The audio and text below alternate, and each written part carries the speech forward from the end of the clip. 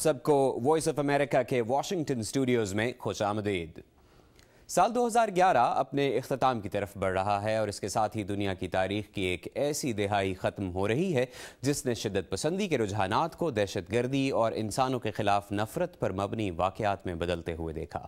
ایسے ہی ایک واقعے کا شکار ہوئے بنگلہ دیش سے تعلق رکھنے والے رئیس بھویان، جنہیں گیارہ ستمبر دو ہزار ایک کے دہشت گرد حملوں کے بعد ایک سفید فام امریکی نے انتقامی جذبے کے تحت گولی مار دی تھی۔ رئیس بھویان نے اس حملے میں زندہ بچنے کے بعد انسان دوستی کی مثال قائم کرتے ہوئے اپنے حملہ آور کو نہ صرف معاف کر دیا، بلکہ پھانسی سے بچانے کے لیے ایک عوامی مہم چلائی۔ انہوں نے ایسا کیوں کیا؟ یہ جاننے کے لیے عمران صدیقی آپ کی ملاقات کروا رہے ہیں۔ رئیس بھویان سے ہمارے خصوصی سلسلے مسلمز امریکہ میں۔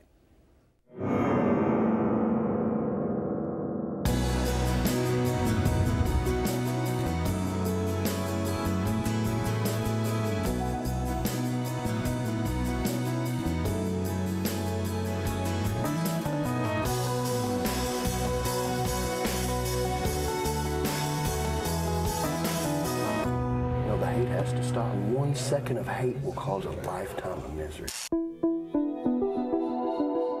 آپ نے دو نالے والی بندوق یا ڈبل بیرل شاٹ گن ضرور دیکھی ہوگی لیکن کیا آپ کو علم ہے کہ اس سے نکلنے والی گولی کی قوت یا رفتار کیا ہوتی ہے دو نالی والی بندوق یا شارٹ گن سے کسی بھی مناسب فاصلے سے فائر کی گئی گولی اپنی رفتار کے باعث جان لیوا زخم لگانے کی صلاحیت رکھتی ہے اب ذرا تصور کیجیے کہ اس بندوق کی نالی کا رخ ٹھیک آپ کے چہرے کی جانب ہے اور ٹرگر دبتا ہے۔ بچنے کے امکانات نہ ہونے کے برابر۔ یہ دو عام سے افراد کی غیر معمولی کہانی ہے جو امریکی ریاست ٹیکسس میں معمول کی زندگی گزار رہے تھے کہ انہیں حالات ایک ایسے موڑ پر لے آئے جہاں ان کی زندگیوں نے رحم دلی اور درگزر کے جذبے کو قریب سے محسوس کیا۔ ان میں سے ایک صاحب دس برس پہلے ہی اپنی جان سے گزر چکے ہوتے اور دوسرے ان قریب اپنی زندگی سے آزاد ہونے والے ہیں۔ Uh, it was یہ اکیس ستمبر دو ہزار ایک کی تاریخ اور جمعے کا دن تھا۔ میں ایک گیس اسٹیشن پر کام کرتا تھا۔ دن کے ساڑھے بارہ بجے تھے اور باہر موسلا دار بارش ہو رہی تھی۔ اچانک ایک شخص سٹور میں داخل ہوا۔ اس نے سر کے گرد رومال لپیٹ رکھا تھا دھوپ کا چشمہ لگا رکھا تھا۔ لیکن سب سے غیر معمولی چیز اس کے ہاتھ میں موجود بندوق تھی جس کا رخ میرے چہرے کی جانب تھا۔ یہ رئیس بھویان ہیں جو بنگلہ دیش میں پیدا ہوئے لیکن اب ایک امریکی شہری ہیں۔ رئیس ان چند خوش نصیب لوگوں میں سے ایک ہیں جو دو نالی والی بندوق یا شارٹ گن سے انتہائی قریب سے فائر کی گئی گولی اپنے چہرے پر کھانے کے باوجود موجزانہ طور پر زندہ ہیں۔ انہیں گولی کا نشانہ اس لیے بنایا گیا کیونکہ کسی شخص کو ان کی نسلی شناخت سے نفرت تھی۔ میری ملاقات رئیس سے ٹیکسس کے شہر ڈیلس میں ہوئی تھی، جہاں وہ آج کل مقیم ہیں اور ٹریول اور آئی ٹی کی صنعت سے وابستہ ہیں۔ رئیس مجھے اس خوفناک دن کی کہانی سنا رہے ہیں جب وہ ایک مسلح شخص کے ہاتھوں اپنی زندگی کی بازی تقریباً ہار چکے تھے۔ میں پہلے بھی ڈکیتی کے ایک تجربے سے گزر چکا تھا۔ لہٰذا میں نے آنے والے مسلح شخص سے درخواست کی کہ وہ مجھے گولی نہ مارے اور میں اسے رقم دینے کو تیار ہوں۔ لیکن بندوق بردار شخص کے منہ سے ادا ہونے والا پہلا جملہ خاصا حیران کن تھا۔ میری درخواست کے جواب میں اس نے پوچھا کہ تمہارا تعلق کہاں سے ہے۔ ایک ڈکیتی کی واردات کے دوران پوچھے جانے والا یہ خاصا عجیب سوال تھا۔ اسی لمحے مجھے خیال آیا کہ یہ شخص یہاں رقم لینے نہیں آیا بلکہ اس کی یہاں موجودگی کا سبب کچھ اور ہے۔ میں نے جواباً کہا کہ معاف کیجیے گا۔ یہ شخص سفید فارم نسل پرست مارک سٹرومن تھا۔ جو رئیس پر حملہ کرنے سے چھ روز قبل ایک پاکستانی وقار حسین کو بھی گولی مار کر قتل کر چکا تھا۔ مجھے یوں لگ رہا تھا جیسے کئی ہزار مکھیاں میرے چہرے کے ارد گرد گھوم رہی ہیں پھر اچانک ایک دھماکہ ہوا۔ مارک سٹرومن نے رئیس بھیان کے چہرے پر انتہائی قریب سے گولی چلا دی۔ میری آنکھوں کے سامنے میرے والدین، میری منگیتر اور میرے بہن بھائیوں کے چہرے گھومنے لگے اور پھر مجھے قبرستان کا خیال آیا۔ مجھے یقین نہیں تھا کہ میں اب بھی زندہ ہوں۔ میں نے نیچے دیکھا تو خون میرے سر کے دائیں حصے سے اس طرح بہ رہا تھا جیسے کسی نے نلکا کھول دیا ہو۔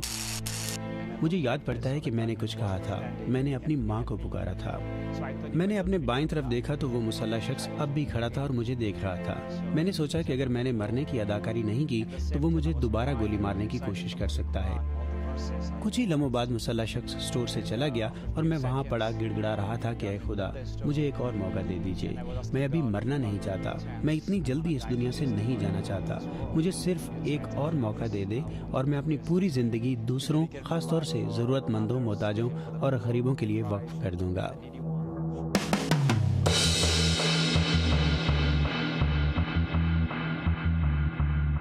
ستمبر گیارہ دو ہزار ایک کے دہشت گرد حملوں کے بعد کئی امریکی غم و غصے کا شکار تھے۔ ان کی قوم دہشت گردی کا نشانہ بن چکی تھی اور کئی لوگوں کا خیال تھا کہ حملہ آور مسلمان ہیں، جو جہاز اڑاتے ہوئے نیو یارک اور واشنگٹن ڈی سی کی عمارتوں سے جا ٹکرائے۔